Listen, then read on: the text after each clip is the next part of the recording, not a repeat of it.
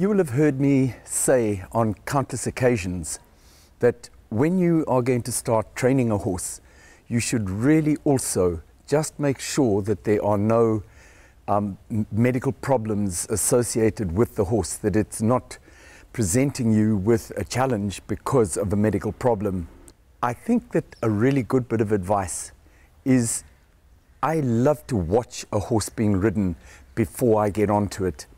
Um, I'm often riding horses for the first time, and um, people are telling me what the problems are. And what I find is that by standing on the ground and watching the horse, you can often pick up things that you will not pick up sitting on the horse.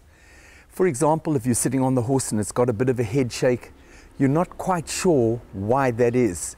But if you're standing on the ground, you might notice that it's a little bit fussy with the tongue or something, not sticking it out or anything, or you might notice that the tongue is pulled back in the mouth.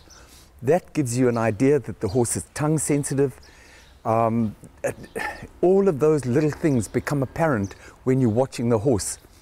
And also, if you are riding a horse for the first time, it's also safer for you to see the horse being ridden because um, sometimes horses react quite violently and it's better to know what's coming and know what you're having to deal with. So from all those points of view, it's really a good thing to first watch the horse being ridden. Now, one really interesting um, case that I picked up on a mare called Sandy, um, just watching her, was that she is affected by something called string halt. Let me read to you what um, it says about string halt. It says, horses with a very mild disease may only demonstrate string halt when backing up.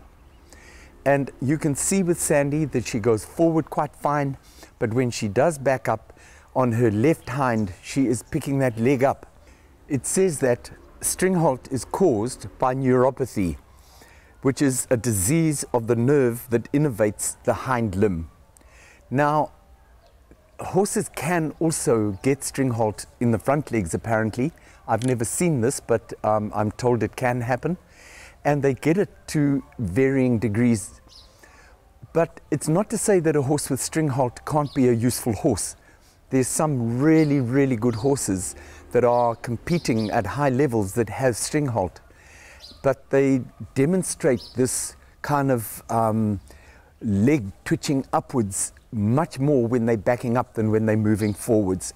So again, if you've got a horse like this, don't kind of force the horse backwards. And if it will back up and it can back up without that string halt being a real problem, then by all means do so. But just be aware of the problems that you might be facing because some horses, um, when they do do that, can absolutely not back up so one would then know that that's one particular thing that you can't do with that horse. You might just get it to flex and let it go. Touch on the reins until it flexes and let it go so that it learns to give to the light touch of the rein that I'm always talking about. But with most horses, you would want them to learn to back up because that gets them very nice and balanced.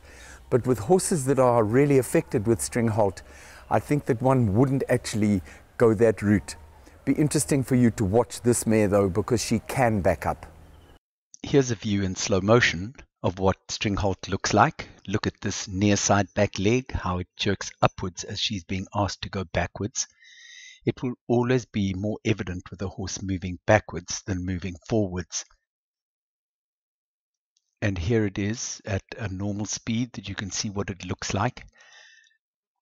The string halt in Sandy's case is quite mild, so she is actually able to back up. But you will see it's more evident when she's turning to the left-hand side than to the right. There to the right you can see it's not so evident, but that offside hind leg also just shows a slight little bit of a symptom of string halt, but it's not affected as badly as the near hind. But you will see that if you lessen the pressure, the backwards pressure on the reins, that she is able to make that turn far more simply with less evidence of the string halt. It's only every now and then that that leg kind of comes up as you apply backward pressure to do the rollback. and you can see when she's walking forwards that she's absolutely fine with no problem whatsoever. So this is a mare that you can work in the normal way. You can back her up, and there she's moving forward now, absolutely fine.